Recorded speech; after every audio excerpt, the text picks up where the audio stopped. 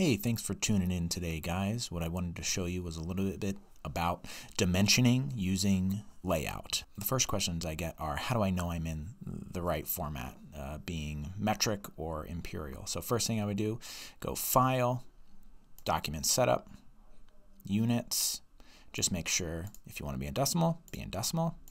If you want to be fractional, be in fractional, and same thing here, you can change this to millimeters, feet, or whatever. So for me, I like to be fractional, which is inches, and then, uh, so example here, I've got a line that is going to be four inches, so I'm going to type in four inches.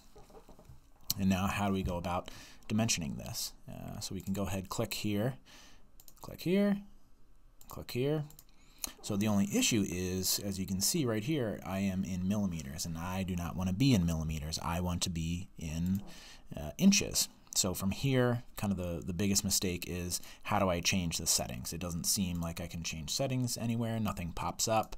Um, so go to Window, up here, Window, Dimension Style. A lot of times this tab will get hidden, um, or you'll accidentally close it, or maybe it just doesn't pop up. So go ahead, click it. And from here, you can change everything. So currently it was set at decimal millimeter. And if I wanted, I could go feet. That'll give me feet. Or I could go ahead and change this to architectural and inches. So this is typically uh, what I do mine in. Um, and so from here, we can go ahead.